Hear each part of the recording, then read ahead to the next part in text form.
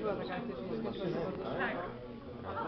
Mi się przypomniała, dlatego że kiedyś jedna firma przyszła do pani, która próbowała właśnie zaufanie do klientów.